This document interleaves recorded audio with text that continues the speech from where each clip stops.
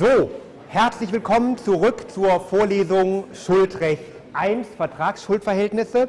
Letzte Stunde haben wir die Einführung gehabt. Diesmal geht es mitten rein ins Thema mit der Entstehung von Schuldverhältnissen. Sie sehen, wir haben einen vollen Plan. Wir wiederholen das, was wir letzte Stunde gemacht haben. Und dann gehen wir hier der Reihe nach die Entstehung von Schuldverhältnissen durch. Sie sehen, das sind 65 Folien und wir haben jetzt schon fünf Minuten verloren. Deshalb machen wir es jetzt etwas schneller. Oh. Heute behandeln wir nur die Entstehung von Schuldverhältnissen. Nächsten Montag behandeln wir dann die Pflichten, die aus dem Schuldverhältnis entstehen. Sie erinnern sich, das habe ich am Dienstag schon mal angesprochen. Das heißt, das Schöne ist, ich wiederhole alle Sachen so oft, bis sie wirklich jeder weiß. Man könnte auch so sagen, alle Sachen, die ich wichtig finde, sage ich mindestens dreimal in dieser Veranstaltung. Alles andere kann dann auch nicht so wichtig sein. Um zu gucken, ob Sie das auch gelernt haben, habe ich für Sie hier eine Selbstkontrollfrage eingebaut.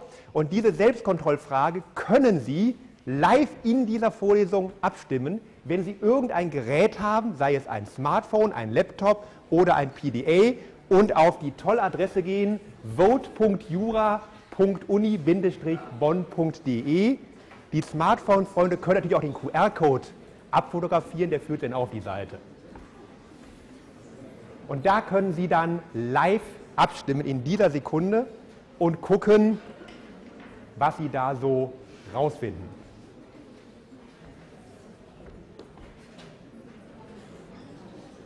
Das bricht immer die Panik aus. Ich nutze die Gelegenheit, um Sie auch darauf hinzuweisen, Sie sollten auf jeden Fall ein Gesetz dabei haben. Ja, Gesetz. Und ein Lehrbuch können Sie sich kaufen. Es gibt dieses tolle, was aber viel zu teuer ist. Und es gibt dieses auch ganz tolle, was viel dicker ist, was aber ein paar Euro billiger ist, äh, teurer ist. So. Hm? Funktioniert das nicht? Was?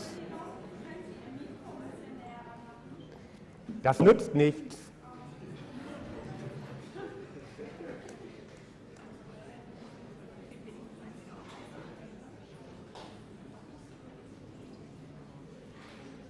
Schauen Sie jetzt mal. Da müsste jetzt stehen Schuldrecht 1 in dieser Liste. Eben stand das noch da. Naja, egal. Dann machen wir es halt von Hand.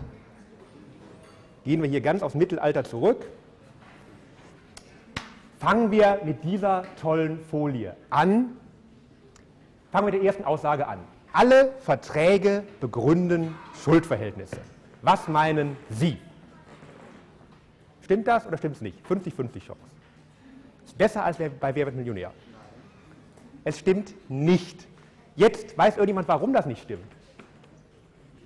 Gibt es Verträge, die keine Schuldverhältnisse begründen? Gibt es Verträge, die keine Schuldverhältnisse begründen?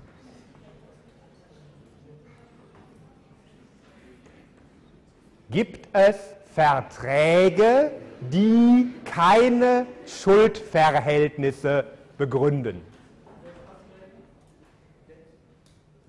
Wettverträge begründen keine Verbindlichkeit, es ist aber trotzdem ein Schuldverhältnis, weil es begründet ein Recht zum Behalten. Denken Sie mal vielleicht ans erste Semester zurück. Was haben Sie da gelernt? Ja. Gefälligkeitsverträge sind auch Schuldverhältnisse. Gefälligkeitsverträge sind ja Schenkung, Leihe und sowas. Ja.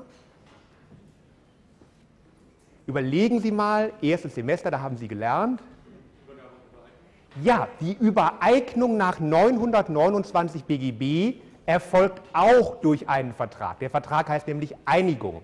Das ist ein Verfügungsgeschäft. Verfügungen begründen nie Schuldverhältnisse. Also wir unterscheiden Verfügungen und Verpflichtungen und Verpflichtungen sind Schuldverhältnisse, Verfügungen nicht. Gucken wir uns die nächste Aussage an.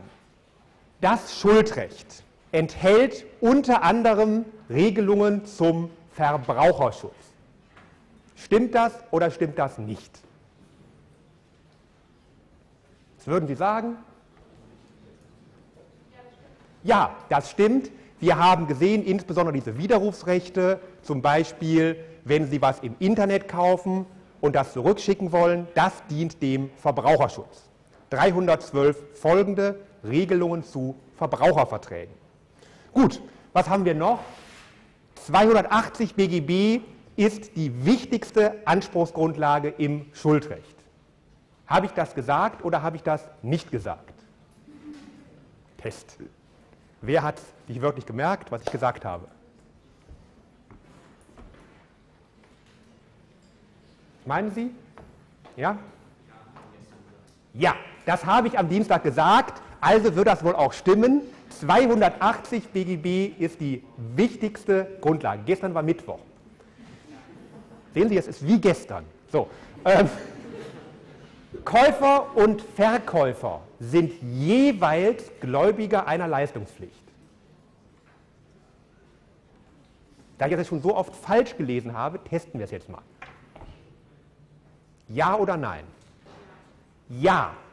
Welche, von welcher Pflicht ist nämlich der Käufer der Gläubiger?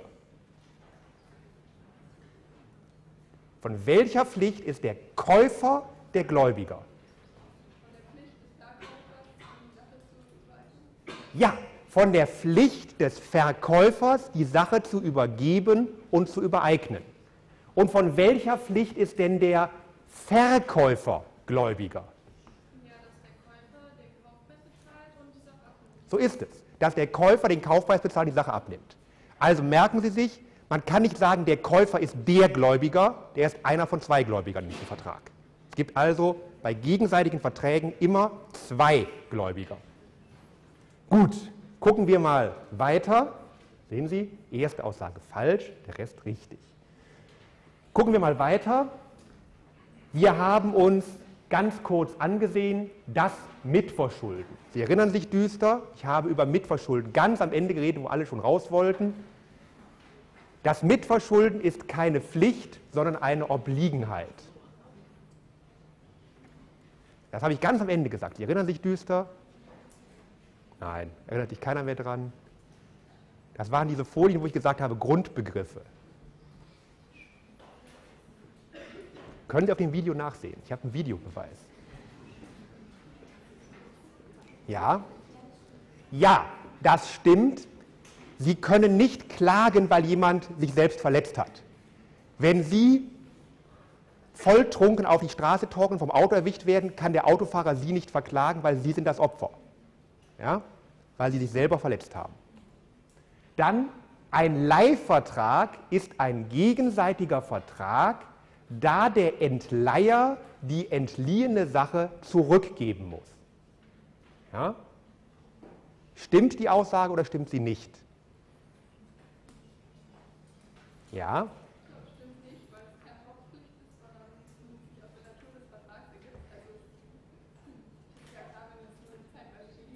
Ja. Also die erste Aussage ist richtig, es ist kein gegenseitiger Vertrag. Die zweite Aussage ist leider nicht ganz richtig, es kommt nicht auch, ob es eine Hauptpflicht ist. Aber wo liegt das Problem mit der Rückgabepflicht? Warum begründet die Rückgabepflicht keinen gegenseitigen Vertrag? Ganz einfach, ja.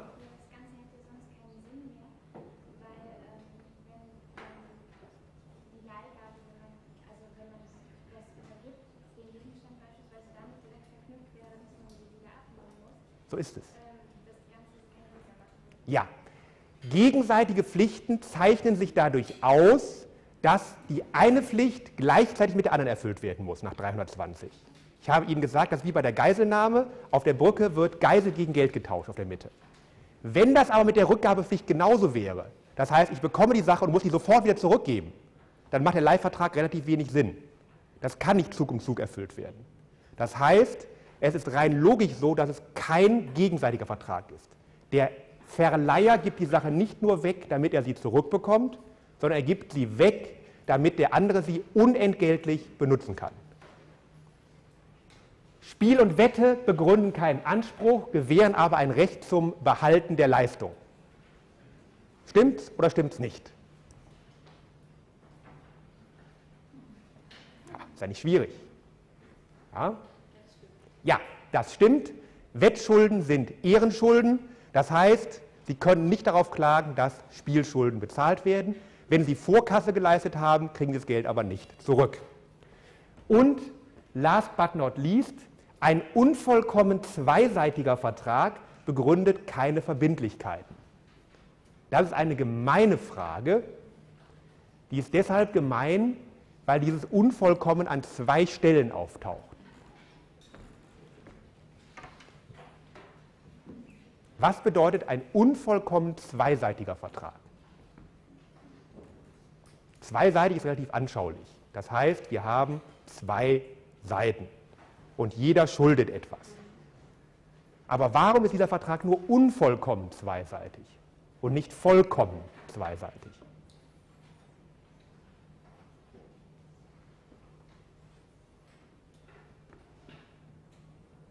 Ja,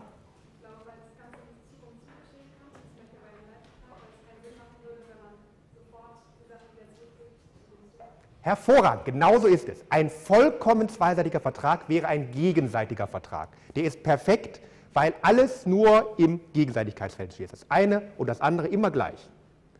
Ein unvollkommen zweiseitiger Vertrag ist, wo jede Partei Pflichten hat, aber die Pflichten nicht Zug um Zug erfolgen, sondern irgendwie in sonstiger Weise. Abzugrenzen sind unvollkommene Verbindlichkeiten, zum Beispiel bei Spiel und Wette. Das sind dann einfach keine einklagbaren Pflichten. So, wenn Sie das alles nicht wissen, ist das nicht schlimm. Warum nicht? Weil das alles noch ganz oft kommt und das wiederholen wir so lange, bis Sie das alles perfekt wissen. Also machen Sie sich jetzt noch keine Sorgen. Ganz zum Anfang zurück, was ist ein Schuldverhältnis? Ein Schuldverhältnis, da nehmen wir das, was Sie am besten kennen, nämlich den Kaufvertrag. Beim Kaufvertrag haben Sie einen Verkäufer, der heißt deshalb V, und einen Käufer, der heißt K. Und der Verkäufer hat einen Anspruch gegen den Käufer auf Zahlung des Kaufpreises und der Käufer hat gegen den Verkäufer einen Anspruch auf ähm, Übergabe und Übereignung der Sache. Das kennen Sie alles. Jetzt steht oben schon die Frage drüber, warum spricht man von der Relativität des Schuldverhältnisses das klingt so ein bisschen nach Physik, so Albert Einstein, Relativitätstheorie. Das ist viel einfacher. Stellen wir uns vor, es kommt ein X. Und der X sagt, ich möchte mich hier auch irgendwie mal äußern und ich möchte gerne den Kaufpreis haben. Oder ich möchte gerne Übergabe und Übereignung der Sache haben. Dann sagt uns die Relativität der Schuldverhältnisse, dass jeder Vertrag in einer Wolke schwebt. Und in diese Wolke kommt keiner rein. Ja, die Wolke ist völlig abgeschlossen.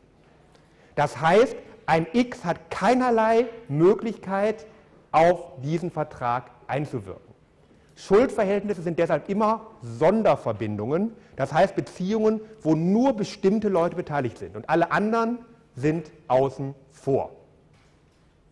Ganz einfach, wenn Sie einen Vertrag schließen, kann ich Ihnen nichts dazu sagen.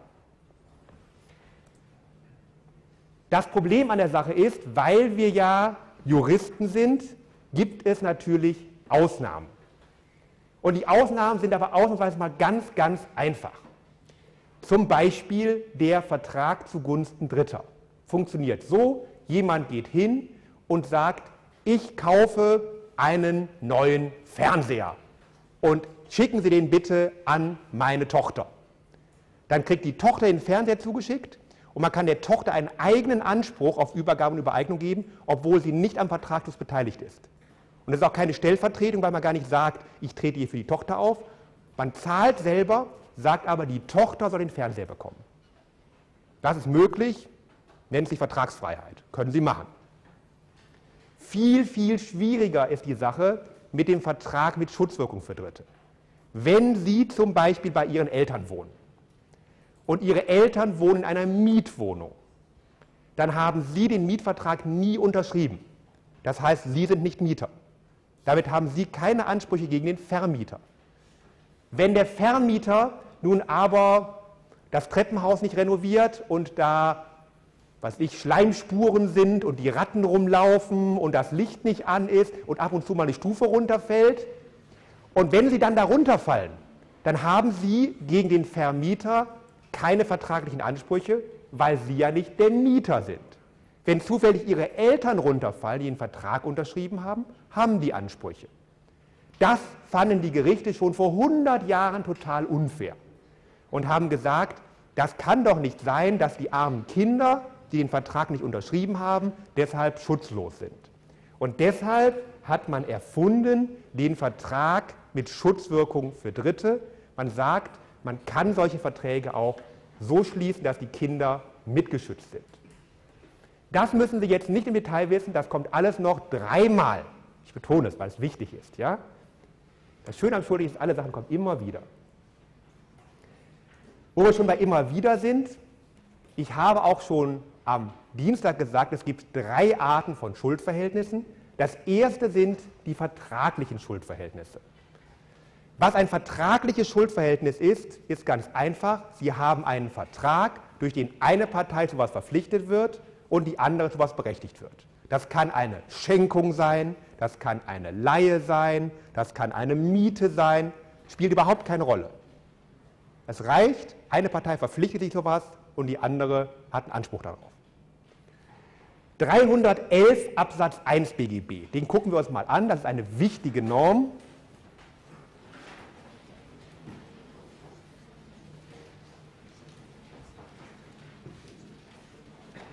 311.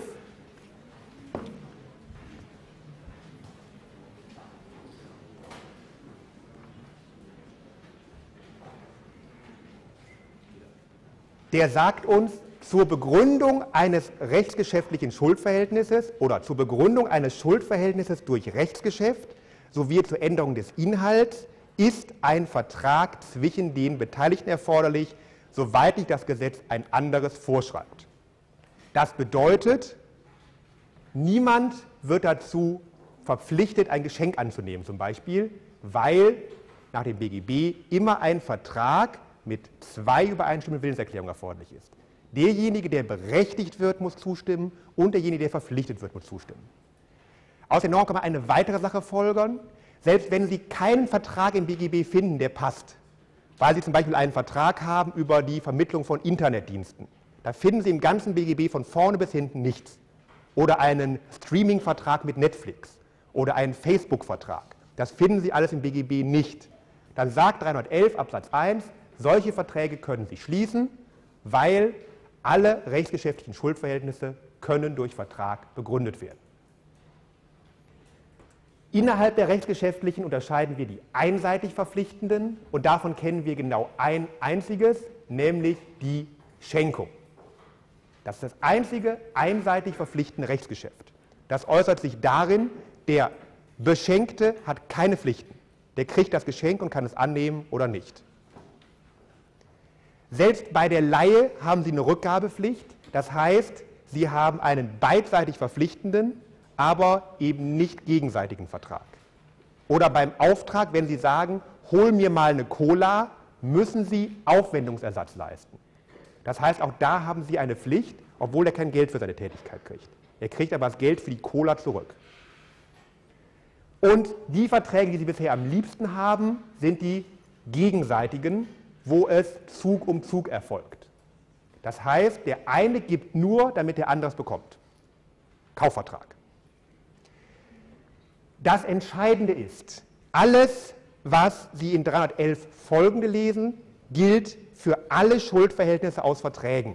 Also wenn Sie gucken, 311, da kommen Schuldverhältnisse aus Verträgen, da kommt ganz viel, was Sie da so lesen könnten, wenn Sie wollten.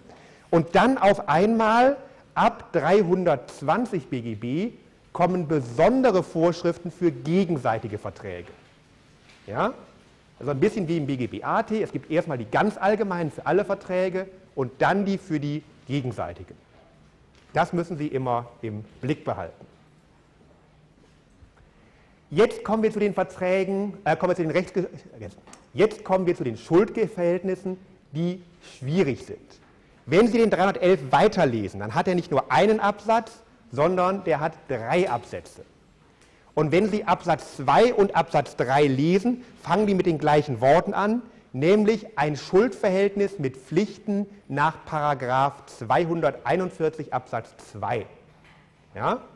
Das steht in beiden ausdrücklich drin.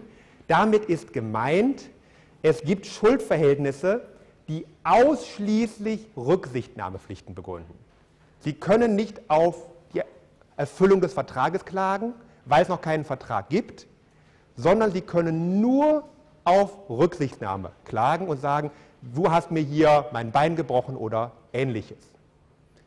Bei einem Vertrag können Sie sagen, ich möchte gerne die Kaufsache haben. Wenn Sie noch in Verhandlungen sind, können Sie sagen, du sollst mich nicht anspucken, du sollst mich nicht verprügeln, du sollst mir kein Gift in den Tee schütten. Das ist in Vertragsverhandlungen. Danach können Sie auch Erfüllung verlangen. Und dann kommen die Sachen, die nächstes Semester dran kommen in Schuldrecht 2, nämlich die gesetzlichen. Und die finden Sie praktischerweise nicht in 311 folgende, weil es keine Verträge sind. Sie sehen ja, die Überschrift heißt Schuldverhältnisse aus Verträgen. Die kommen hingegen ganz am Ende, 677 folgende, 823 folgende und 812 folgende. Und im Sachenrecht noch 987 folgende. Das heißt, das müssen wir zum Glück nicht machen. Wir fangen mit den einfachsten an, weil das können Sie hoffentlich alle noch vom letzten Semester. Nämlich, wie entstehen rechtsgeschäftliche Schuldverhältnisse? Und da steht drin, wir brauchen einen Vertrag. Das bedeutet, wenn Sie viel Zeit haben, können Sie bei jeder Klausur wie im ersten Semester prüfen. Es müssen zwei übereinstimmende Willenserklärungen vorliegen, Antrag und Annahme und können das ganz lange schreiben. Sie haben dann nur ein Problem, weil die Zeit für die Klausur auch im zweiten Semester nur zwei Stunden sind. Und wenn Sie davon schon 90 Minuten brauchen, um das auch im ersten Semester zu schreiben, haben Sie für das, worauf es ankommt, keine Zeit mehr. Das heißt, nur dann, wenn da ein Problem ist, sollten Sie da viel zu schreiben. Ich habe das nochmal auf dieser Folie toll dargestellt. Sie brauchen einen Antrag. Ja, manche sagen auch Angebot, aber Angebot ist verwirrend, denn Angebot werden Sie sehen, steht in 293, bedeutet was ganz anderes. Und eine Annahme. Und die müssen inhaltlich übereinstimmen und Bezug aufeinander haben. Toll. Alles, was Sie das ganze Semester gelernt haben, auf einer Folie. Sehen Sie, so einfach war BGWAT. Wenn Sie die Sachen haben, haben Sie mindestens einen einklagbaren Anspruch. Bei der Schenkung kann der Beschenkte klagen darauf, dass er es geschenkt bekommt. Mindestens einer hat einen Anspruch. Sie haben aber auch immer Pflichten zur Rücksichtnahme. Egal, ob Sie ein Geschenk haben oder einen Kaufvertrag, der andere muss Sie nett behandeln. Der darf Sie nicht treten, schlagen, beleidigen, töten oder was auch immer. Wenn er Sie tötet, ist Ihnen egal, aber so, das ist noch einfach. Jetzt kommt die erste Folie, wo drauf steht Klausur minus. Sehen Sie das da oben rechts in der Ecke. Das bedeutet, dass diese Folie für die Klausur, die Sie jetzt machen, auf keinen Fall relevant sein kann. Ich erzähle Ihnen das nur, damit Sie hinterher nicht sagen, ich habe Ihnen nur die Hälfte erzählt. Die würden nur die halbe Wahrheit kennen. Wenn Sie in Großbritannien oder in den USA einen Vertrag schließen wollen, haben Sie da ein Problem, weil die sagen, solange nur geredet wird, ist alles unverbindlich. Reden kostet nichts. Erst dann, wenn man schon was geopfert hat, ist der Vertrag verbindlich. Das Ganze nennt sich Consideration. Und der deutsche Gesetzgeber hat sich gedacht, das ist eine nette Idee, machen wir auch mal eine Regelung zu im BGB. Und wir geben dem Ganzen die tolle Bezeichnung Draufgabe. Ja? Man würde es vielleicht ein bisschen moderner als Anzahlung bezeichnen. Und die Regelungen im BGB dazu sind relativ wischiwaschi. Da steht drin, wird etwas als Draufgabe gegeben, das heißt leistlich eine Anzahlung, so gilt dies als Zeichen des Abschlusses des Vertrages. Damit ist gemeint, wenn Sie sagen, ich habe schon eine Anzahlung geleistet, können Sie damit beweisen, dass das wirklich als Willenserklärung gemeint war. Das belegt den Rechtsbindungswillen. Wenn einer schon bezahlt hat, meint das auf jeden Fall ernst. Einverstanden? Ja. Zweite Aussage, die Draufgabe gilt im Zweifel nicht als Reugeld. Damit ist gemeint, Sie können den Vertrag dann nicht einfach wieder widerrufen und sagen, ich habe doch keine Lust, behalt das Geld. Die Anzahlung ist also sozusagen nicht das Widerrufsrecht, was Sie schon mal bezahlt haben. Die Anzahlung ist einfach nur eine Anzahlung. Die Anzahlung wird aber angerechnet auf die Gegenleistung und wenn der Vertrag irgendwie wieder aufgehoben wird, kriegen Sie Ihre Anzahlung auch wieder zurück. Tolle Regelungen. Sie werden Ihrem ganzen Leben, das kann ich Ihnen garantieren, nie wieder da reingucken, aber Sie wissen jetzt, es gibt solche tollen Sachen im BGB. Wenn Sie irgendwelche Großeltern haben, die groß aktiv sind im Viehhandel, also so Pferdekauf oder Kuhhandel, da ist das in der Tat üblich, dass man sagt, erst dann, wenn ich was gegeben habe, ist auch sicher, dass ich die Kuh bekomme. Vorher ist es alles unverbindlich. Ja, toll. Die zweite Folie, die Sie nicht wissen müssen, sehen Sie, häuft sich ja heute, bezieht sich auf die Aussage, manche Menschen müssen Verträge schließen. Das kennen Sie vielleicht demnächst bei den Banken. Jeder hat Anspruch auf ein Girokonto. Es gibt das aber auch bei Energie, es gibt das bei Warentransport. Jeder kann bei der Post Sachen verschicken, auch wenn die Post einen nicht mag. Die Post soll also nicht sagen, Ihre Nase gefällt mir nicht, wir nehmen Ihr Paket nicht an. Und es ist sogar so, jedes Taxi muss Sie mitnehmen. Das heißt, wenn Sie hochbetrunken hier stehen und sagen, fahr mich nach Hause, muss der Taxifahrer Sie mitnehmen. Sie haben einen Anspruch darauf, sagt das BGB. Es gilt keine Vertragsfreiheit. Brutal, aber so. Dann, unabhängig davon, gibt es direkt aus dem Grundgesetz einen Anspruch darauf, das ist kein Grund zu quatschen, aus dem Grundgesetz einen Anspruch auf lebenswichtige Versorgung im Krankenhaus. Wenn Sie verbluten, dann muss die Blutung gestillt werden können. Und das ist auch wieder Vertragszwang. Und dann wird es ganz toll, Diskriminierung. Diskriminierung heißt, Sie werden schlechter behandelt, weil Sie Frau sind, weil Sie Mann sind, weil Sie groß sind, weil Sie klein sind, weil Sie schlau sind, weil Sie dumm sind. Auch da, wenn Sie nachweisen können, dass das eine unzulässige Diskriminierung ist, können Sie möglicherweise Schadensersatzansprüche geltend machen. Noch eine Folie, die für die Klausur nicht relevant ist. Die Frage ist, warum sitzen Sie überhaupt heute hier? Es gibt das allgemeine Gleichbehandlungsgesetz. Wir nennen es auch das Türstehergesetz. Das sagt uns nämlich, hier, wenn Sie reingucken, eine Benachteiligung aus Gründen der Rasse, der ethnischen Herkunft, des Geschlechts, der Religion, einer Behinderung des Alters oder der sexuellen Identität darf bei der Begründung eines Schuldverhältnisses nicht berücksichtigt werden, wenn es sich um ein Massengeschäft handelt. Das heißt, wenn der Türsteher sagt, du kommst hier nicht rein, dann müssen Sie sagen, diskriminieren Sie mich wegen Geschlecht, Alter, Rasse oder Ähnlichem. Und wenn er sagt, Ausländer mag ich nicht, dann können Sie sagen, ha, ich habe einen Anspruch. Dann sehen Sie, das ist alles geregelt. Solche tollen Regelungen haben wir im BGB, äh, im AGG in dem Fall. So, Jetzt kommen wir aber zu den wichtigeren Regeln. 311 Absatz 1 haben wir uns angesehen, da steht drin, Schuldverhältnisse entstehen durch Verträge. Wenn wir jetzt weiter gucken, finden wir danach 311a, 311b und 311c. Die sind relativ unspektakulär. 311a sagt in Absatz 1, ein Vertrag ist auch dann wirksam, wenn der Schuldner nicht zu leisten braucht. Da geht es um so Sachen wie, Sie schließen einen Vertrag mit der Hexe H, dass sie ihre Erzfeindin oder ihren Erzfeind verhexen soll. Oder ihren Geliebten oder ihre Geliebte G verzaubern soll, dass sie sich in sie verliebt. Solche Verträge kann man abschließen im Rahmen der Vertragsfreiheit. Und 311a Absatz 1 sagt, dieser Vertrag ist wirksam.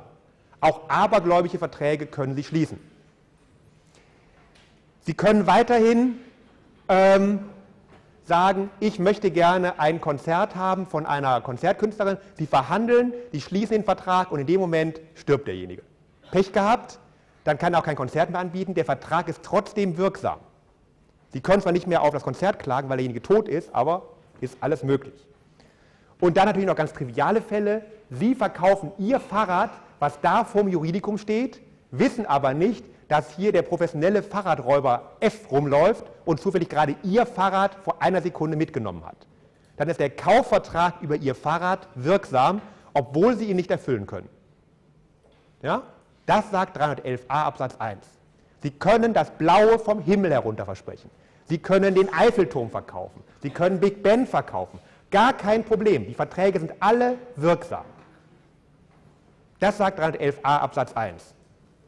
Jetzt sagen Sie, was ist denn der Wert, wenn ich so einen Vertrag schließe, der nicht erfüllbar ist? Das steht hier in dem roten rechts. Da steht nämlich drin, Sie kriegen Schadensersatz statt der Leistung. Das heißt, sie werden durch eine Geldzahlung so gestellt, als wäre der Vertrag richtig erfüllt worden. Das ist bei einigen Fällen einfacher als bei anderen.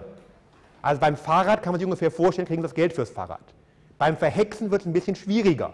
Also wie viel ist das Verhexen denn wert, wenn es geklappt hätte? Also Sie sehen, da gibt es dann gewisse Schwierigkeiten, die machen wir aber später. 311b BGB. Den haben Sie letztes Semester hoffentlich alle schon mal gesehen. Und zwar da den Absatz 1, Satz 1. Der sagt nämlich, wenn Sie sich verpflichten, Eigentum einem Grundstück zu übertragen, brauchen Sie dafür die notarielle Beurkundung. Haben Sie alle gesehen? Ja? Einverstanden? Was Sie nicht gesehen haben, ist, dass die Norm noch viele andere Absätze hat. Zum Beispiel einen Absatz 2, wenn Sie sich verpflichten, Ihr künftiges Vermögen zu übertragen. Die sagen also, alles Geld, was ich ab sofort bekomme, sollst du kriegen. Das klingt irgendwie so ein bisschen nach betrügerischer Masche. Und deshalb ist so ein Vertrag von vornherein nichtig. Da können Sie noch so viele Notare einschalten. Der Vertrag ist unwirksam. Gesetzliches Verbot 134 BGB unwirksam. Absatz 3 sagt, wenn Sie sich verpflichten, Ihr gegenwärtiges Vermögen zu übertragen, im Sinne von, was weiß ich, Sie kennen das aus dem Märchen, der König sagt, wer meine Tochter rettet, der bekommt das halbe Königreich. Das können Sie auch in Realität machen. Dann sagt 311b Absatz 3, brauchen Sie aber wieder den Notar. Ja, also wenn der König Ihnen verspricht, finde meine Tochter dieses halbe Königreich, rennen Sie erst zum Notar, bevor Sie es machen. Dann Absatz 4, Verträge über den Nachlass lebender Personen. Damit ist gemeint, Sie haben einen reichen Opa. Und bevor der stirbt, gehen sie schon hin und verkaufen überall so Wertpapiere für dessen Erbe, nach dem Motto, ich werde irgendwann das Erbe von Opa kriegen. Hier, ich gebe dir schon mal 100 Euro vom Erbe und dir 100 Euro. Das dürfen sie auch nicht. Eine Ausnahme steht in Absatz 5. Wenn sie das unter den Erben machen, wenn alle sozusagen Erben sind, dann ist das zulässig, dann brauchen sie aber wieder den Notar. Für die Klausur relevant ist eigentlich immer nur Absatz 1, Gut, dass wir wissen, dass es auch ein paar andere Absätze gibt, aber es passiert keinen. Wichtig ist auch, die Regelung gilt nur für das Verpflichtungsgeschäft, das heißt nur für das Schuldverhältnis. Das hat nichts mit Sachenrecht zu tun. Es gilt zudem nach herrschender Meinung analog auch für alle Verträge, die mittelbar einen Zwang ausüben. Das kennen Sie vielleicht noch von der unwiderruflichen Vollmacht. Wenn ich Ihnen eine Vollmacht gebe und sage, Sie dürfen mein Grundstück verkaufen und ich darf die nicht mehr widerrufen, dann muss diese Vollmacht auch notariell beurkundet werden, weil sonst der Notar seinen Zweck nicht mehr erfüllen kann. Dann, gesamter Vertragsinhalt muss beurkundet werden. Das heißt, es reicht nicht, wenn Sie den einen Teil beurkunden, ich übertrage mein Grundstück, sondern es muss auch der Kaufpreis beurkundet werden, es muss auch möglicherweise eine Räumungspflicht vereinbart werden. All das muss im notariellen Vertrag sein. Ganz oder gar nicht. Und last but not least, wenn ein Teil fehlt, greift 139. Das bedeutet, im Zweifel ist dann der ganze Vertrag unwirksam, wenn auch nur ein Teil nicht beurkundet worden ist. So, harmloser ist 311c. Gucken wir uns den mal ganz kurz an verpflichtet sich jemand zur Veräußerung oder Belastung einer Sache, so erstreckt sich diese Verpflichtung im Zweifel auf das Zubehör der Sache. Damit ist gemeint, wenn Sie ein landwirtschaftliches Grundstück haben mit tollen Maisfeldern und Sie haben da auch einen Traktor, um den Mais zu ernten, dann ist mit dem Kaufvertrag über das Grundstück auch der Traktor mitverkauft. Der Traktor gehört dann zum Grundstück. Das sagt 311c. Auch nicht so spannend, dass wir da jetzt viel zu sagen müssen. Aber Sie wissen jetzt, Zubehör wird im Zweifel mitverkauft. Zubehör ist jede Sache, die der Hauptsache zu dienen bestimmt ist. Zum Beispiel der Mixer Aufsatz Nummer 36 für Ihren Handmixer. Eine Sache, die wir uns dann näher angucken müssen, ist 242 BGB. 242 BGB ist im Zivilrecht eine überbelastete Norm. Wenn Sie sich den Wortlaut mal angucken, steht da drin, der Schuldner ist verpflichtet, die Leistung so zu bewirken, wie Treu und Glauben mit Rücksicht auf die Verkehrssitte es erfordern. Dummerweise wird das nicht so gelesen, wie es im Gesetz steht. Man ist hingegangen und hat der Schuldner durchgestrichen und hat in Gedanken darüber geschrieben, jede Partei. Erstes Problem. Zweites Problem, die Leistung so zu bewirken, hat man auch noch durchgestrichen und hat gesagt, sich so zu verhalten. Das heißt, eigentlich lautet die Norm, wie wir sie heute anwenden, jede Partei ist verpflichtet, sich so zu verhalten, wie Treu und Glauben mit Rücksicht auf die Verkehrssitte es erfordern. So müssen Sie die Norm lesen. Sie werden, wenn Sie sich länger mit Jura befassen, feststellen, immer dann, wenn ein Gericht sagt, oh, das ist aber unfair, kommt, ja, das ist aber treuwidrig, das verstößt gegen Treu und Glauben und nach 242 muss das Ergebnis ändern. So machen die Gerichte das. Jetzt denken Sie sich, coole Sache, ich schreibe bei der Klausur einfach irgendwas hin und am Ende sage ich, jetzt gucke ich nochmal, ob das Ergebnis stimmt. Das habe ich ernsthaft sogar mehrmals so gelesen schon mal in Klausuren. Deshalb sage ich Ihnen jetzt schon mal, Achtung, Sie schreiben hier keine Klausur im öffentlichen Recht. Im öffentlichen Recht gibt es immer eine Verhältnismäßigkeitsprüfung. Und diese Verhältnismäßigkeitsprüfungen sind reine Laberübungen, wo dann gesagt wird, ja, das finde ich aber wichtiger, also sagen wir mal hier, Meinungsfreiheit ist wichtiger als Interesse an der Verbindung zur Türkei. Das würde man im öffentlichen Recht dann diskutieren. Im Zivilrecht können Sie und dürfen Sie das auf keinen Fall.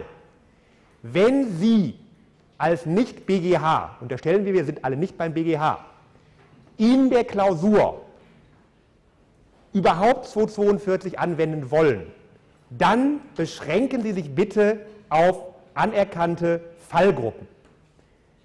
Und diese Fallgruppen haben Sie teilweise im BGB AT gemacht und die werden wir teilweise auch hier nochmal machen.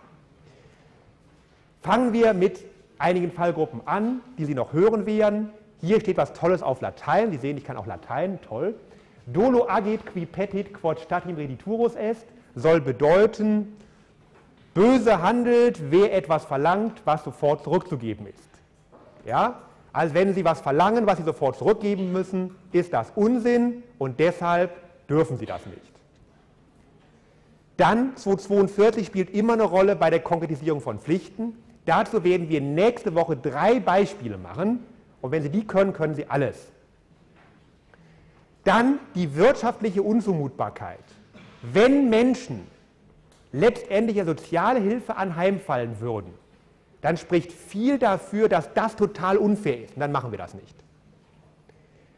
Unredlicher Rechtserwerb, das meint, wenn Sie Rechte erworben haben, indem Sie gelogen und betrogen haben, dürfen Sie diese Rechte nicht geltend machen. Kündigung zur Unzeit heißt, Sie dürfen niemanden kündigen, der gerade einen schweren Schicksalsschlag erlitten hat oder wo Sie genau wissen, dass er nicht erreichbar ist. Und die letzte Gruppe kennen Sie, das widersprüchliche Verhalten, das ist dieser berühmte Parkplatzfall, wo jemand auf einen Parkplatz fahren will und da ähm, ruft, ich zahle aber heute nicht. Und der Parkwächter guckt nur verständnislos und am Ende fährt er raus und sagt, ich habe heute Morgen gesagt, ich zahle nicht. Ne? Und dann sagt er, er kriegt trotzdem Geld, sie die Schranke nicht hoch. Also Sie kennen diese Fälle. Wenn nicht, ist es auch nicht schlimm, der kommt nämlich gleich nochmal. Da ist nämlich dieser Fall. Das ist der berühmte Hamburger Parkplatzfall. Sie kennen alle Hamburg. Hamburg ist eine tolle Stadt und in Hamburg gibt es ein Rathaus und vor dem Rathaus gibt es einen Platz und vor vielen Jahren, das muss ungefähr vor 50 Jahren gewesen sein, konnte man da kostenlos parken. Und wie es so kam, haben natürlich alle da geparkt. Und da hat die Stadt gesagt, wir brauchen dringend Geld, weil wir sind überschuldet und deshalb haben die dann eine Parkgebühr eingeführt. Und einige Bürger fanden das nicht so gut. Und es kam, wie es kommen musste.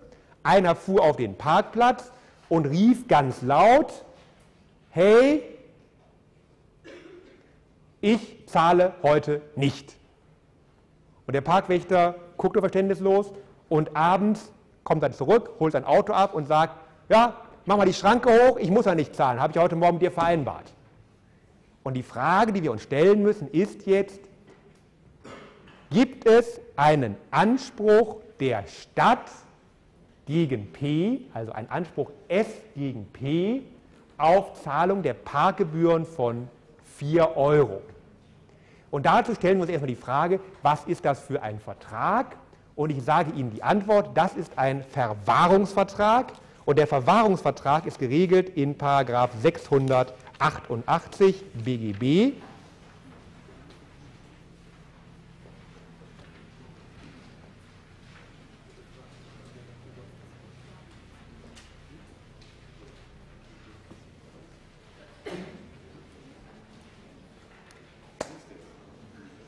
Und dann fragen wir uns, ist hier ein entgeltlicher Verwahrungsvertrag zustande gekommen?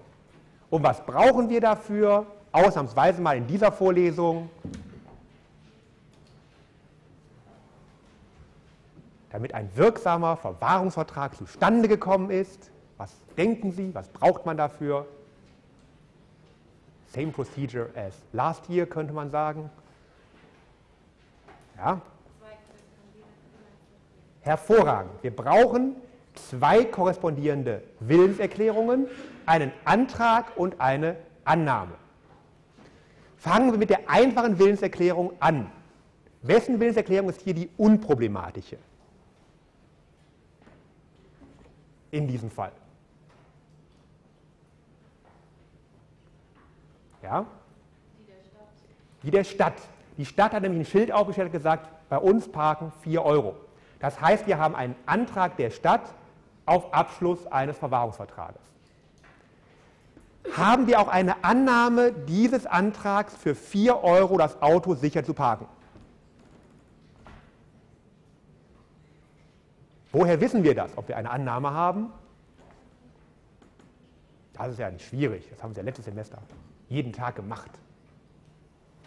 Ja? Ja, In der Tat, eine ausdrückliche haben wir gerade nicht. Ausdrücklich hat er gesagt, ich will kostenlos parken. Ich will also keinen entgeltlichen Vertrag abschließen, sondern einen unentgeltlichen. Und Sie wissen, eine Annahme unter Änderungen gilt als Ablehnung in Verbindung mit einem neuen Antrag, Paragraph 150 BGB. Aber Sie können eine Konkludente haben, indem er das Ganze einfach durch Benutzen des Parkplatzes angenommen hat. Jetzt haben wir aber dummerweise halt diese ausdrückliche Erklärung. Wie verhalten sich ausdrückliche und konkludente Erklärungen zueinander grundsätzlich? Was meinen Sie? Wir legen aus nach 133, 157. Ja, die ausdrückliche hat Vorrang. Nach 157 legen wir aus dem Empfängerhorizont aus. Das heißt, wir überlegen uns, was würde jemand denken, der da in dem Häuschen sitzt? Und die Antwort lautet, der spinnt ja, ähm, aber der hat gesagt, er will nicht bezahlen. Also will er wohl nicht bezahlen. Was soll er sonst denken? Und damit wäre unser Fall beendet. Dann müssten wir sagen, es gibt keinen Anspruch, weil der hat das Angebot nicht angenommen. Damit ist kein Vertrag zustande gekommen. Einverstanden? Das wäre das normale Ergebnis. Damit dieses normale Ergebnis, das uns aber allen nicht gefällt, hier korrigiert werden kann, greift man zurück auf 242 und sagt, Möglicherweise ist die ausdrückliche Erklärung unbeachtlich. Und 242 hat immer zwei Voraussetzungen. Erstens, das Verhalten des Parkenden muss hier treuwidrig sein. Das heißt, wenn wir 100 Leute fragen, würden von den 100 Leuten alle, die wir als gerechte Menschen ansehen, sagen, das darf der nicht. Wenn auch nur ein einziger Mensch, den Sie als gerecht beurteilen, sagen würde, ist okay, dann haben Sie ein Problem. Ja, also jeder Mensch, der was anderes sagt, müssen gleich sagen, der hat ja keine Ahnung und das ist, der hat, ist total unfair und der ist ein Idiot. Ja, das ist der Test. Wenn dieser Test bestanden ist, haben Sie Stufe 1 hinter sich gebracht. Und man sagt, jeder Mensch auf der Straße sagt, es kann nicht sein, dass ich bezahle und der nicht. Und deshalb sagt jeder Mensch, das ist treuwidrig, auf einen Bezahlparkplatz zu fahren und zu sagen, ich bezahle nicht. Die zweite Voraussetzung ist, dass der andere Vertragspartner, der Benachteiligte, besonders schutzbedürftig ist. Und man sagt, die Stadt ist hier besonders schutzbedürftig, weil was soll die denn machen? Die kann ja schlecht da das Auto kaputt hauen und sagen, du kommst hier nicht rein. Das heißt, die Stadt ist schutzbedürftig und der verhält sich unfair. Also ist seine Erklärung nach 242, also die ausdrückliche Erklärung unbeachtlich und es gilt nur das tatsächlich geäußerte Verhalten. Also hat er das Angebot angenommen, also muss er bezahlen. Sehen Sie, BGB ist so einfach. Jetzt kommt ein Fall, der ist eine Stufe schwieriger. Wir haben den Graph V. Und Graph V verkauft dem geschäftlich völlig naiven K ein Grundstück. Als K fragt, ob man nicht einen Notar hinzuziehen muss, zerstreut V diese Zweifel mit dem Hinweis, dass der Vertrag ja seine Unterschrift trage und sein Name, Graf, so gut sei wie jede notarielle Beurkundung. Als K später Übereignungsgrundstücks verlangt, beruft sich V auf die Formlichkeit des Vertrages. Kann K von V Übergabe und Übereignung des Grundstücks verlangen? Und die Frage ist, was ist die Anspruchsgrundlage? Das ist ja nicht schwierig.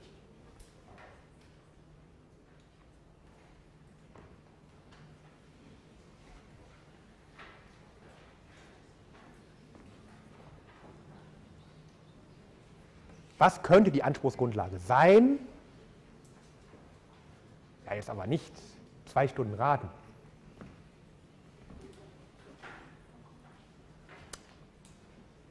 Hab keine Zeit hier. Was meinen Sie? Zweite Reihe, dritter von rechts. Anspruchsgrundlage für Übergabe und Übereignung eines Grundstücks. Was könnte das sein? Ja? Ja, ganz normal der Kaufvertrag, das heißt 433 Absatz 1 Satz 1 BGB. Der gilt nicht nur für bewegliche Sachen, der gilt genauso auch für Grundstücke.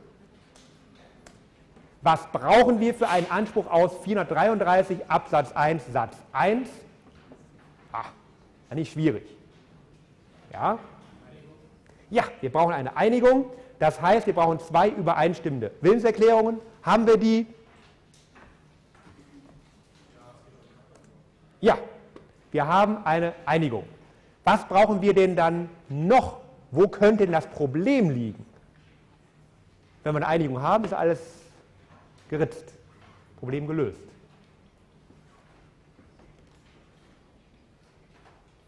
Ja? Hervorragend. Die Einigung könnte nichtig sein nach 125 Satz 1 BGB. Da steht drin, ein Vertrag ist unwirksam, wenn er nicht die gesetzlich vorgeschriebene Form hat. Frage, was ist die gesetzlich vorgeschriebene Form? Haben wir eben gesehen, 311b Absatz 1 Satz 1, notarielle Beurkundung. Grafen, selbst wenn sie als Anwalt tätig sind, können nichts notariell beurkunden. Die sind also nicht beurkundungsfähig. Das heißt, die Form ist nicht eingehalten. Das heißt, der Vertrag ist nichtig. Dieses Ergebnis könnte aber wieder ungerecht sein. Ja, Sie erinnern sich, ich habe eben gesagt, 242, immer wenn es ungerecht ist. Es könnte sein, dass es missbräuchlich ist, sich hier auf die Formvorschrift zu berufen. Frage, ist das missbräuchlich, wenn sich der Graf in unserem Fall darauf beruft, hier hätte er notariell beurkunden lassen können. Mann, bist du doof.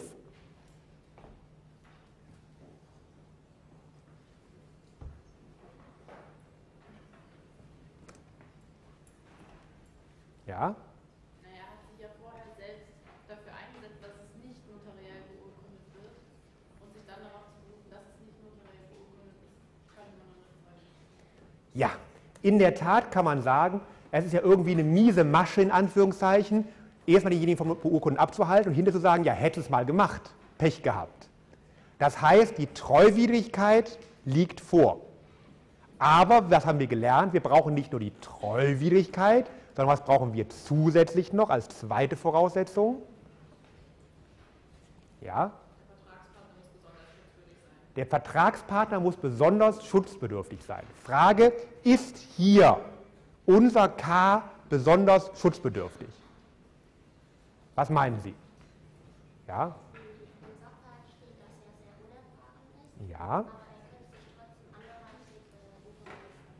Ja, in der Tat, er ist zwar unerfahren, aber Unerfahrenheit alleine schützt nicht, weil die notarielle Beurkundung hat ja eine wichtige Bedeutung. Sie soll informieren, sie soll warnen über die Risiken und diese Funktion kann sie nicht erfüllen, wenn gerade die besonders Unkundigen hier nicht zum Notar gehen würden.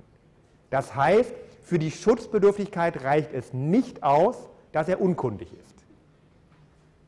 Gut, damit wissen wir schon, was nicht ausreicht. Jetzt fragen Sie sich, was reicht denn aus? Und das lernen Sie nächste Woche in der AG. Da machen Sie nämlich den Fall 1 zur AG und in Fall 1 geht es genau um dieses Problem, nämlich wann ist derjenige schutzbedürftig. Aber in diesem Fall hier eher nicht. Gut, dann kommt jetzt das nicht so spannende Kapitel. Das war jetzt die ganze Wiederholung des ersten Semesters. Ja, jetzt sind Sie alle verwirrt. Können noch eine Stunde quatschen. So. Gesetzliche Schuldverhältnisse. Gesetzliche Schuldverhältnisse kommen in der Klausur nicht dran. Deshalb steht da oben rechts, sehen Sie das? Klausur minus. Gesetzliche Schuldverhältnisse gibt es aus einem ganz einfachen Grunde. Sie können nicht mit jedem Menschen auf der Welt einen Vertrag abschließen. Wenn jemand kommt und Ihr Auto mit seinem Schlüssel zerkratzt, haben Sie mit dem vorher regelmäßig keinen Vertrag geschlossen. Wenn Ihr Haus brennt und irgendjemand kommt und löscht das, können Sie mit dem vorher keinen Vertrag schließen zum Löschen. Der Grund ist schlicht, es wäre viel zu aufwendig, für alle Eventualitäten des Lebens mit jedem Menschen auf der Welt einen Vertrag zu schließen. Und um ihm die Arbeit abzunehmen, hat der Gesetzgeber gesagt, dann machen wir es halt automatisch für alle. Das ist der Sinn gesetzlicher Schuldverhältnisse. Man würde auch sagen, die Transaktionskosten sind zu hoch, weil es zu lange dauert zu diskutieren und zu verhandeln. Sie kennen bereits ein gesetzliches Schuldverhältnis, ein einziges. Eine Güte, ist ja hier. Ich fühle mich enttäuscht. Hm. Sehen Sie, gleich fange ich an zu weinen. Ähm, das wollen Sie gleich auf Video sehen. Ne?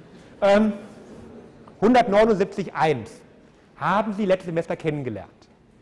Und 179 Absatz 1 sagt, schließt jemand als Vertreter ohne Vertretungsmacht einen Vertrag, so kann der andere von ihm Erfüllung verlangen.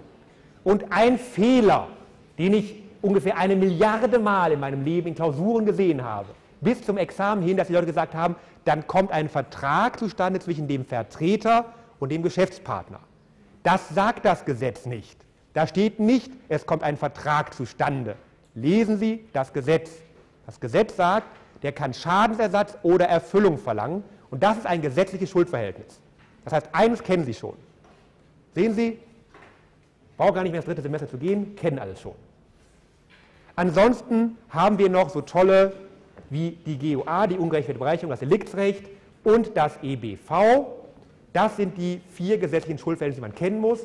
Es gibt auch noch den Erbschaftsanspruch, interessiert aber keinen, weil es Erbrecht ist.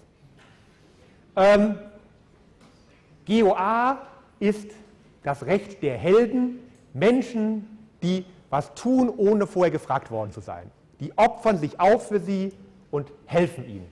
Das ist das Recht der GOA.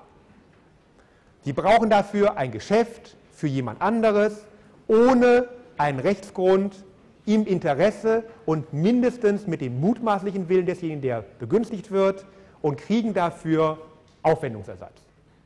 Das heißt, wenn Sie sich die Schuhe verbrennen beim Feuerlöschen, kriegen Sie neue Schuhe. Tolle Sache, super Nummer. Ungerechtfertigte Bereicherung haben Sie letzte Semester schon mal gelernt, so grob. Wenn jemand aus dem Grund des nichtigen Vertrages Ihnen irgendwas zahlt, dann kriegt das Geld wieder zurück nach 812. Und das Fiese hier ist nur, dass es die Möglichkeit der Entreicherung gibt. Das heißt, wenn der selber das Geld schon verfressen hat oder damit auf die Malediven gejettet ist, dann kriegen sie gar nichts mehr. So hart sind die Zeiten. 823 habe ich Ihnen auch schon gesagt, Sex and Crime im Zivilrecht. Da geht es um Mord, Totschlag, Betrug, Lug, Trug, alles dabei. Sexualdelikte, die können alles haben hier. Böhmermann, alle sind da. Hier 823 Deliktsrecht. Voraussetzung viel einfacher als im Strafrecht übrigens. Sie brauchen irgendein absolut geschütztes Recht, zum Beispiel Körper, Eigentum, Gesundheit, Leben, Freiheit, Ehre. Das muss verletzt worden sein, dann prüfen Sie Kausalität. Dann brauchen Sie noch Rechtswidrigkeit. Die liegt vor, wenn keine Rechtfertigungsgründe vorliegen. Dann brauchen Sie Verschulden, Vorsatz oder Fahrlässigkeit, spielt keine Rolle, eins von beiden reicht. Und dann kriegen Sie einfach nur den Schadensersatz. Sie sehen, anders als im Strafrecht baut man hier nicht so auf mit objektiver Tatbestand, subjektiver Tatbestand, sondern es wird einfach ganz sauber gesagt, mach irgendwie verschulden, irgendwie passt das schon.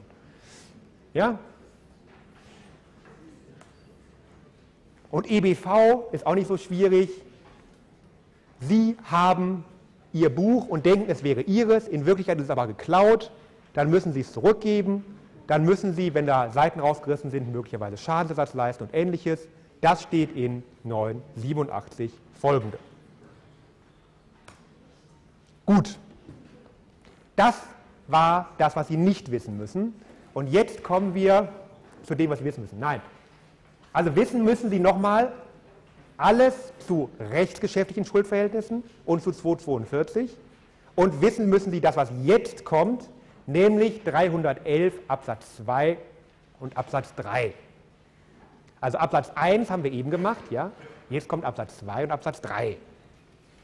Und wenn Sie sich den angucken, ist die Norm nicht schwierig. Die Norm sagt Ihnen nämlich, ein Schuldverhältnis entsteht auch durch Aufnahme von Vertragsverhandlungen. Was das ist, liegt relativ auf der Hand. Der eine sagt Angebot und der andere sagt, ich überlege es mir. Wenn er angenommen hat, wäre der Vertrag schon zustande gekommen, aber solange man noch über den Vertrag redet, sind das Verhandlungen. Das zweite ist die Anbahnung eines Vertrages. Und das ist etwas schwieriger. Die Idee dabei ist, es gibt Situationen, wo man noch nicht verhandelt, weil man nicht miteinander redet. Insbesondere bei Selbstbedienung. Im Supermarkt gehen Sie hin, haben einen Einkaufswagen, packen da einfach Sachen rein. Da machen Sie nicht jedes Mal Angebot, Angebot, Angebot, sondern Sie wissen, Sie machen erst dann einen Antrag, wenn Sie es auf das Kassenband legen. Das heißt, es gibt auch keine Verhandlungen, weil es keinen Menschen gibt, mit dem Sie reden können. Deshalb sagt hier Nummer zwei, auch die Anbahnung eines Vertrages auf andere Weise als durch Verhandlungen reicht für ein solches Schuldverhältnis. Und last but not least, noch weiter sind die ähnlichen geschäftlichen Kontakte. Das heißt, jede Fallgruppe wird weiter. In der Klausur bedeutet das, Sie gucken sich an, ist es Vertragsverhandlungen? Wenn ja, brauchen Sie die beiden anderen Sachen sich gar nicht mehr anzugucken. Ist es keine, gehen Sie direkt auf die Anbahnung, prüfen keine Verhandlungen. Es ist keine Anbahnung, prüfen Sie direkt die ähnlichen geschäftlichen Kontakte und müssen die beiden anderen Sachen gar nicht mehr ansprechen. Sie prüfen also nur das, was auf Ihren Fall passt. Sie prüfen die beiden anderen Sachen im Kopf durch. Wenn die nicht passen, gehen Sie direkt zum dritten. Im Kopf durchprüfen, nicht schreiben. Absatz 3 ist viel komplizierter, deshalb machen wir ihn auch etwas später noch. Der sagt Ihnen, man kann auch verpflichtet werden, wenn man nicht Vertragspartei werden sollte. Das sind Fälle, wo zum Beispiel ein Gutachter kommt. Der guckt sich ein Pferd an und sagt, dieses Pferd ist gesund. Und daraufhin wird der Pferdekaufvertrag geschlossen und das Pferd ist krank. Dann hat der Käufer meistens keinen Vertrag mit dem Gutachter, der das Pferd für gesund befunden hat. Und trotzdem soll der Schadenssatz kriegen können. Das gewährleistet 311. Kein Vertrag mit dem Gutachter, aber trotzdem Schadensersatz. Warum gibt es diese Regelung, fragen Sie sich, fragen Sie sich vielleicht auch nicht. Es gibt nämlich auch diesen 823, den ich Ihnen eben schon gezeigt habe, der nämlich sagt, wer vorsätzlich oder fahrlässig irgendein Recht eines anderen widerrechtlich verletzt, ist dem anderen zum Ersatz des danach entstehenden Schadens verpflichtet. Und es gibt auch eine weitere Norm, 831, die seht ihr hier immer Klausur minus, das heißt, müssen Sie alle nicht kennen, toll.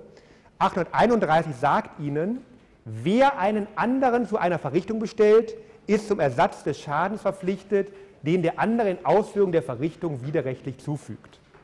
Das bedeutet, wenn ich, sagen wir mal, einen Auftragskiller bestelle, der Sie umbringen soll, dann hafte auch ich auf Schadensersatz, weil der meinen Weisungen entsprechend tätig wird.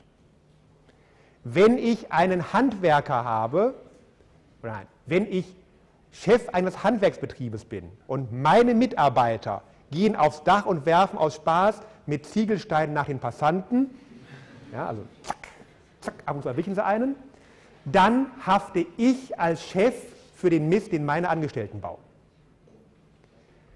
Davon gibt es eine Ausnahme, das ist Satz 2. Und das nennt sich Exkulpation. Wichtig mit K, nicht mit C. Ja? Exkulpation und das bedeutet folgendes. Sie können sagen, die waren bisher immer total zuverlässig, ich habe ihnen total vertraut. Das sind super Leute. Die haben noch nie Steine geworfen. Wenn Sie das als Chef beweisen können, sind Sie aus der Haftung raus. Sie haften nur dafür, dass Sie schlecht ausgewählt oder schlecht überwacht haben. Diese Regelungen haben die Idee gehabt, man soll geschützt werden, auch in großen Unternehmen, wo irgendwie der kleine Pimpf aus der letzten Reihe sie mit Steinen bewirft. Da sollen sie geschützt werden. Das hatte der Gesetzgeber des Jahres 1900 vor Augen. Er hatte aber übersehen, dass natürlich alle Chefs beweisen können, dass immer alle ihre Mitarbeiter total zuverlässig sind. Ja, also alle Chefs kriegen das immer hin. Die sind immer alle total super. Das zweite Problem ist, in vielen Unternehmen ist es so, sie können gar nicht sagen, wer den Stein geworfen hat. Sie wissen, irgendjemand hat einen Stein geworfen, aber war es der A, der B, der C, der D? Wissen Sie gar nicht. Das heißt, Sie als Opfer sind total arm dran. Und deshalb, deshalb hat der Gesetzgeber gesagt, nehmen wir eine bessere Regelung, nämlich 280 BGB. 280 BGB hat allerdings folgende Voraussetzungen. Erstens brauchen Sie ein Schuldverhältnis. Jetzt sagen Sie, das ist ja nicht schwierig, haben wir gerade gelernt, was das ist. Zweitens brauchen Sie eine Pflicht. Sehen Sie das? Steht alles im Gesetz. Brauchen Sie gar nicht so auswendig zu lernen. Das ist toll an dem Gesetz. Drittens brauchen Sie vertreten müssen. Und viertens brauchen Sie einen Schaden. Und zwar einen hierdurch entstandenen Schaden. Das heißt, Sie brauchen Kausalität und Schaden. Steht alles im Gesetz. Jetzt sagen Sie sich, ob ich jetzt 823 oder 280 mache, ist ja kein Unterschied. Doch der Unterschied besteht darin, dass hier dieses Vertreten müssen vermutet wird. Das heißt, Sie als Opfer müssen nicht beweisen, dass irgendjemand absichtlich nach Steinen geworfen hat. Sie müssen nur beweisen, ich bin vom Stein getroffen worden. Und dann muss der beweisen, ich bin es nicht schuld. Das ist der große Vorteil erstmal. Ansonsten einfaches Prüfungsschema, das finden Sie auch im AG-Skript, das finden Sie auch im Vorlesungsskript, das finden Sie überall, das finden Sie auf einer von den Karteikarten. Dieses Schema sollten Sie können. Nicht heute, nicht morgen, aber Ende des Semesters. Das steht da oben wichtig. Da steht nicht Klausur minus. Ähm so, um jetzt diesen Bogen zu diesem 823 zu kriegen, den ich eben gezeigt habe. Der 823 haben Sie eben gesehen, schützt sonstige Rechte. Der 241, wenn Sie die Liste angucken, steht da drin, er schützt Rechtsgüter, Rechte und Interessen. Das heißt, auch da tauchen Rechtsgüter auf. Das heißt, die überschneiden sich. Die schützen beide exakt das Gleiche. Die stehen einfach so nebeneinander. Und jetzt kommen wir zu dem Fall, wo es endlich mal eine Rolle gespielt hat. Das ist der legendäre Linoleumrollenfall. Kein Mensch kauft mehr Linoleum, aber damals war das in das Reichsgericht. Wenn Sie das lesen wollen, das ist in einer schönen Schnörkelschrift, oder Sie kaufen sich mein Buch, ja, da gibt es auf CD, ähm, in normalen Druckbuchstaben, nicht in ähm, Frakturschrift. Also, K wollte im Baumarkt des V neues Werkzeug kaufen. Im Geschäft wurde von einer umstürzenden Linoleumrolle verletzt, die ein bislang stets zuverlässiger Angestellter A des V infolge von Unachtsamkeit nicht ausreichend gesichert hatte. K verlangt von V Ersatz seiner Behandlungskosten und Zahlung von Schmerzensgeld. Und wir fragen uns, hat K gegen V einen Anspruch aus 831 BGB oder oder und oder aus 280 Absatz 1 in Verbindung mit 241 Absatz 2 in Verbindung mit 311 Absatz 2. Und wir fangen an mit diesem komischen 831, den Sie nicht kennen müssen, Und wir gucken uns die Norm nochmal genauer an, an einem echten Fall, damit Sie das Problem sehen. Sie erinnern sich an den Paragraphen, der war eben auf der Folie. 831. Wenn wir uns angucken, dann steht da Ersatz eines Schadens, den der andere widerrechtlich zufügt. Das heißt, wir brauchen zunächst mal einen Schaden, eine Verletzung. Haben wir hier, denn wer von einer Linoleumrolle getroffen worden ist, wer ist am Körper verletzt? Wenn Sie mal einen abbekommen haben, dann sehen Sie hinterher nicht mehr so gut aus. Sie wiegen verdammt viel. Zweitens brauchen wir Widerrechtlichkeit. Widerrechtlichkeit heißt dasselbe wie Rechtswidrigkeit. Und was wissen wir alle über Rechtswidrigkeit im Strafrecht, genauso im Zivilrecht wie immer? Was ist mit Rechtswidrigkeit?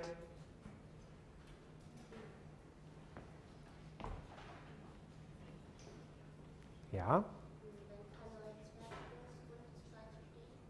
Ja, die Rechtswidrigkeit liegt vor, wenn keine Rechtfertigungsgründe vorliegen. Gibt es hier irgendeinen Rechtfertigungsgrund? Notwehr, Notstand, irgendwas, Einwilligung? Ja, wirf die Linoleumrolle auf mich. Komm, wirf. Nein, gibt es nicht. Also die Widerrechtlichkeit liegt hier vor. Aber, was habe ich Ihnen gesagt? 831 Absatz 1 Satz 2 Man kann sich exkulpieren und zwar wann? Wann klappt das immer? 831 Absatz 1 Satz 2. Ja? Wenn man seinen Verrichtungsgehilfen sorgfältig ausgewählt hat. Ja. Genau. Wenn man den Verrichtungsgehilfen ordentlich ausgewählt hat, hier steht im Sachverhalt ausdrücklich drin, der war immer zuverlässig ein toller Typ. Damit kommen wir hier hin. Wenn er exkulpiert ist, beweist er damit, ich bin es nicht schuld. Wenn er nicht schuld ist, muss er auch keinen Schadensersatz leisten. Und damit steht der arme Kerl jetzt im Krankenhaus, hat einen Anspruch gegen diesen tollen Angestellten im Baumarkt. Ein Angestellter im Baumarkt hat aber meistens kein Geld, da ist also nichts zu holen und damit kann er seine aufwendige OP und alles selber aus eigener Tasche bezahlen. Und Schmerzensgeld kriegt er auch nicht. Der arme Kerl, so ein hartes Opfer unserer Gesellschaft. Und dieses Ergebnis fanden die Gerichte nicht fair. Und jetzt hätte man meinen können, sie haben 242 genommen. Das haben sie auch genommen, weil es damals den 311 Absatz 2 noch nicht gab. Aber wir haben heute den 311 Absatz 2 und den prüfen wir jetzt. Und den müssen Sie ausnahmsweise mal kennen, deshalb steht er jetzt wichtig, bei dem Anstand Klausur Minus, sehen Sie, das ändert sich.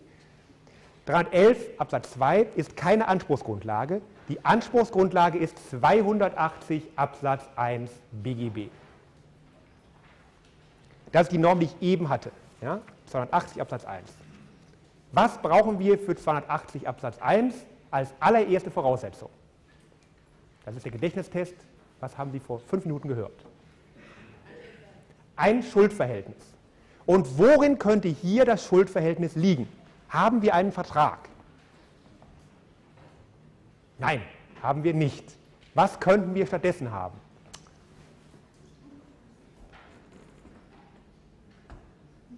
Ja? Ja, culpa in contrahendo. Vielleicht mal ganz genau im Gesetz, was könnte es sein?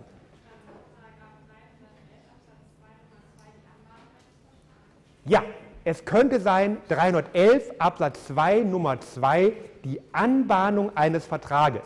Warum ist es hier keine Vertragsverhandlung? Ja?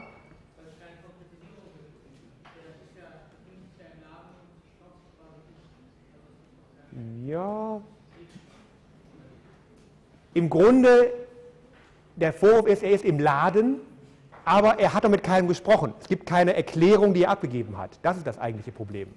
Also der Einwand ist, er hat keinen Gesprächspartner gehabt. Damit haben wir eine Anbahnung. Dann brauchen wir als nächstes eine Pflichtverletzung. Welche Pflicht könnte er hier verletzt haben? Genau. Er könnte die Rücksichtnahmepflicht aus 241 Absatz 2 BGB verletzt haben. Danach muss er Rücksicht auf die Rechte, Rechtsgüter und Interessen nehmen. Aber wo liegt das Problem? Hat hier der Supermarktchef irgendwie keine Rücksicht genommen? Wer ist eigentlich unser Böser? Hat der Supermarktchef hier mit irgendwelchen Linoleumrollen geworfen?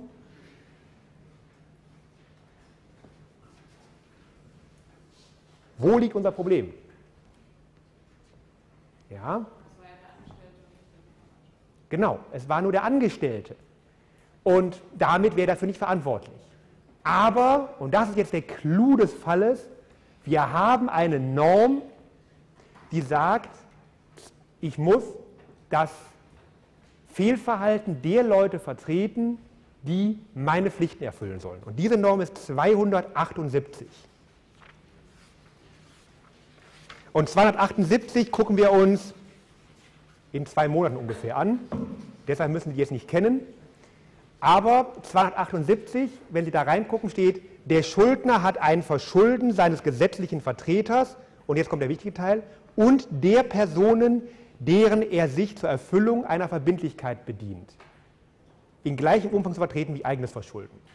Das soll bedeuten, wenn Sie jemanden einschalten, der Ihre Pflichten miterfüllen soll, dann müssen Sie so tun, als ob Sie selber gemacht haben. Sie schicken also jemanden los als Chef, der Reparaturarbeiten durchführen soll, dann müssen Sie sich so behandeln lassen, als hätten Sie es selber gemacht. Immer wenn Sie jemand anderen schicken, lassen Sie sich behandeln, als wären Sie es selbst. Ja? Das sagt 278. Und hier lässt er halt seinen Laden pflegen durch seine Angestellten. Und der Angestellte hat hier eine Pflicht, die der Chef gegenüber den Kunden hatte, verletzt. Also muss der Chef sich so behandeln lassen, hätte er sich selber verletzt. Das sagt 278. Der Chef muss sich so behandeln lassen, als hätte er die Pflichten selber verletzt. Dann brauchen wir noch einen Schaden. Hier hat er eine Verletzung davongetragen. Das heißt, die Verletzung ist der Schaden. Und wenn man am Körper verletzt ist, kann man verlangen, dass der Körper wieder gerichtet wird. Und das kann man entweder verlangen vom äh, Bauhausbetreiber selbst oder man kann sagen, ich gehe in ein Krankenhaus, wo die Leute vielleicht mehr Ahnung haben als im Baumarkt und lasse mich da ähm, vernünftig versorgen und schicke dann die Rechnung weiter an den Schädiger. Außerdem 253 Absatz 2 sagt, Sie kriegen eine billige Entschädigung in Geld. Das bedeutet eine gerechte Entschädigung, also nicht billig im Sinne von preisgünstig, sondern billig im Sinne von gerecht. Sie kriegen also eine angemessene Entschädigung für Ihre Schmerzen, für Ihr Leid, die dann der Richter schätzt nach Augenmaß. Der guckt dann an, wie sehr Sie gelitten haben und sagt dann, für Sie 50 Euro oder für Sie 1000 Euro, je nachdem, wie er so drauf ist. Gut, das war unser erster Fall vom Reichsgericht. Wir springen ein paar Jahre in der Zeit voran, ins Jahr 1964 und gucken eine Entscheidung des Bundesarbeitsgerichts.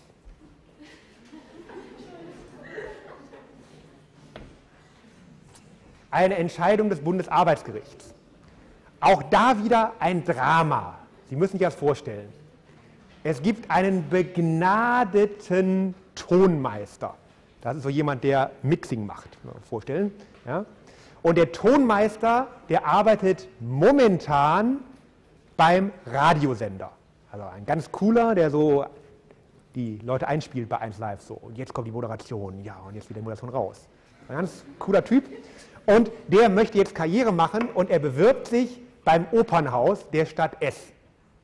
Und da verhandelt dann der Intendant. Intendant ist derjenige, der da die Regie und inhaltliche Verantwortung hat. Und der verhandelt mit dem und sagt, Sie sind der Topmann. Sie haben Radioerfahrung, Sie haben Ahnung, Sie sind unser, unsere Nummer eins. Kündigen Sie jetzt schon mal, weil Sie haben eine Kündigungsfrist von sechs Monaten, denn sonst können Sie ja gar nicht bei uns anfangen rechtzeitig. Daraufhin geht er hin und kündigt beim Radio. Und dann kommt der Intendant und sagt, ich habe eine schlechte Nachricht für Sie. War eben bei der Stadt und die Stadt hat gesagt, wir haben kein Geld mehr für Oper und tut mir leid, also so einen Tonmeister können wir uns hier nicht leisten. Und daraufhin sagt er, hm, schlecht, weil meinen anderen Job habe ich gerade gekündigt. Das heißt, er arbeitet nicht mehr beim Radio, weil den Job hat er gekündigt. Und bei der Oper arbeitet er auch nicht, weil die wollen ihn nicht haben. Und jetzt ärgert er sich und er möchte gerne von der Stadt, Sie sehen das, von S, Zahlung des vereinbarten Gehalts von 6.000 Euro pro Monat als Opernhaus, Tonmeister oder alternativ 4.000 Euro, die er bekommen hätte beim Radio, wenn er da nicht gekündigt hätte. Und die Anspruchsgrundlage müssen nicht lange suchen, die steht nämlich hier. Das ist wieder mal unser 280 Absatz 1. Das heißt, wir brauchen was für 280 Absatz 1? Anrufen, haben wir auch noch. 280 Absatz 1 brauchen wir was? Und was könnte das Schuldverhältnis in diesem Fall jetzt sein?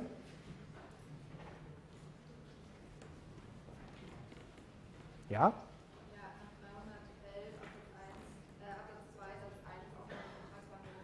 Genau, 311 Absatz 2 Nummer 1, nicht Satz 1, Vertragsverhandlungen.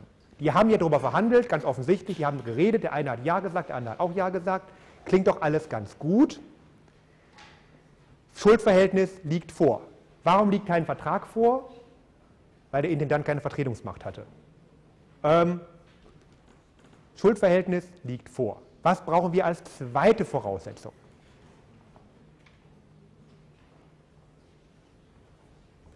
Ja? Eine Pflichtverletzung. Und welche Pflicht kommt hier in Betracht? Welche Pflichten gibt es nur bei 311 Absatz 2? Steht da ausdrücklich drin. Woraus können sich nur Pflichten ergeben? Ja. 241 Absatz 2. Und jetzt müssen wir nur noch entscheiden, geht es um Rechte, Rechtsgüter oder Interessen. Was meinen Sie? Worunter würden Sie das fassen, was der hier für ein Problem hat?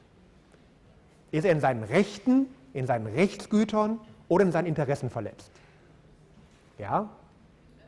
Ja, es geht um die Interessen und zwar hier entweder um sein Vermögen oder um seine Entschließungsfreiheit. Entschließungsfreiheit im Sinne von Artikel 2 Grundgesetz. Jeder Mensch kann tun lassen, was er will, wenn er nicht durch Rechte anderer beeinträchtigt wird. Gut. Das Problem ist, diese Interessen sind so wischiwaschi, die sind ja immer irgendwie verletzt. Das heißt, wir müssen hier überlegen, welche positive Pflicht hatte er denn, diese Interessen zu schützen? Also was hätte er denn tun müssen? Was können wir ihm vorwerfen? Welches Verhalten hat denn diese Pflicht verletzt? Was hätten wir von ihm erwartet? Ja? Ja.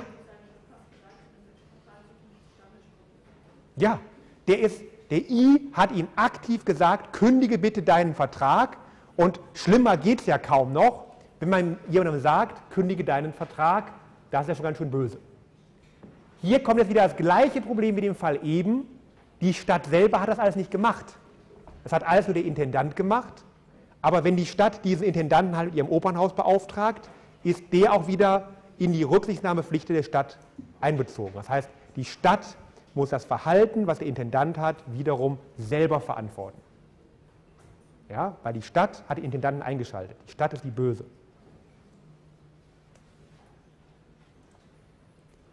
Fürs Vertreten müssen reicht einfache Fahrlässigkeit.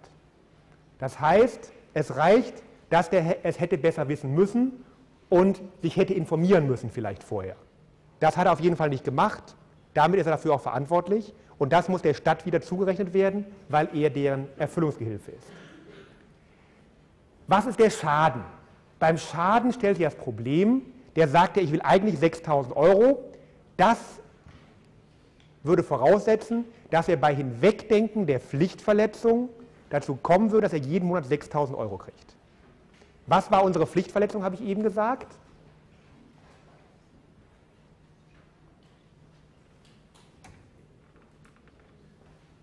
Ja?